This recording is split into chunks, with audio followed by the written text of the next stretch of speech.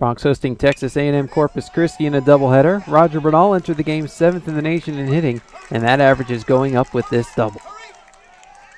One batter later, Vinny Mejia, RBI double, one to nothing Broncs after one.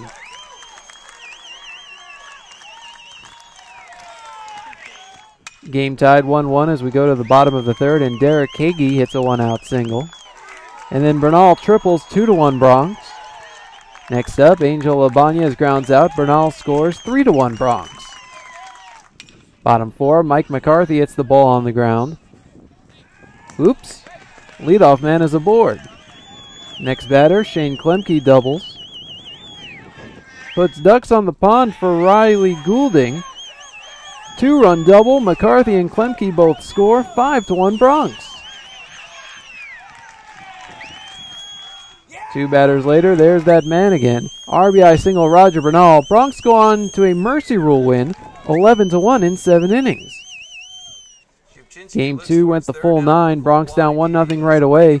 Bases loaded, no one out in the bottom of the first, and Vinny Mejia comes through. Two run double, 2 to 1 Broncs. One batter later, Mike McCarthy grounds out. Scores Angel Ibanez from third, 3 to 1 Bronx.